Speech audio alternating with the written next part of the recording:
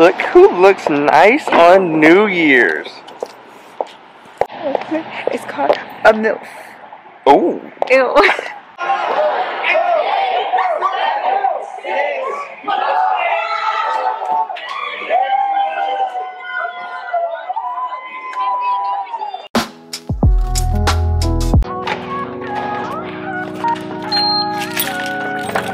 So I've been thinking about this year quite a bit, and I do think it's gonna be the hardest year of my life.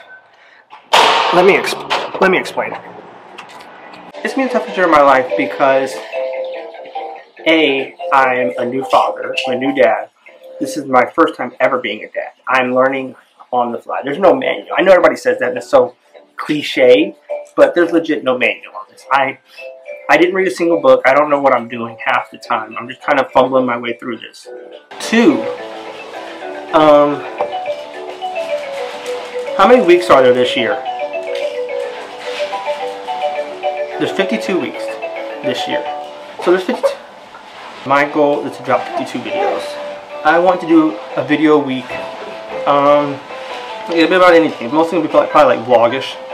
But I, uh, I want to kind of become consistent on something.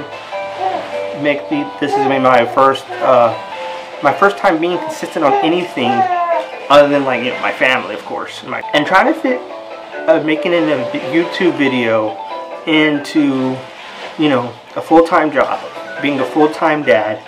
Um, I think it's gonna be stressful, but I want that. I want to feel that stress. I want to push myself to do something I've never done before.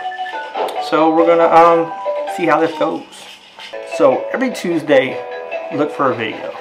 Basically, that's what I'm trying to say.